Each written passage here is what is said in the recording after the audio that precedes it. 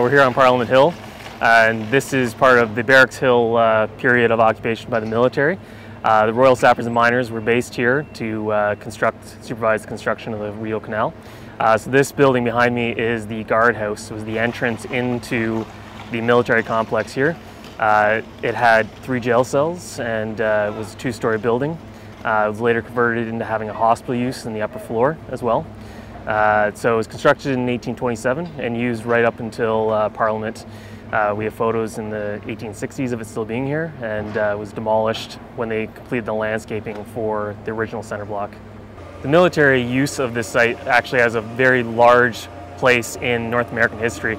So this, the Rideau Canal was constructed as a safe uh, transportation route for military personnel and supplies from uh, away from the American border. So we had the War of 1812, and uh, the kind of waterway along the St. Lawrence was heavily contested between the Americans, and we needed a safe way to kind of get around that waterway uh, in such close proximity to the Americans. Uh, so the canal was constructed essentially to provide an inland route around that.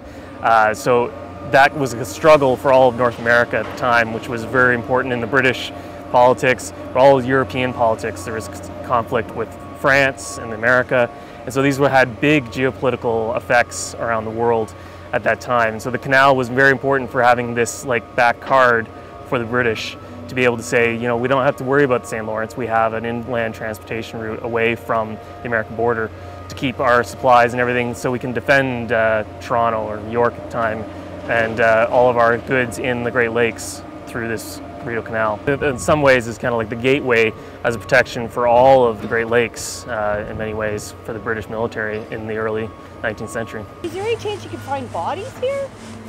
Uh, highly unlikely. So Why? there's never cemetery use for the military complex, um, but it's, it's always a possibility with anything that uh, you'll find burials of any kind.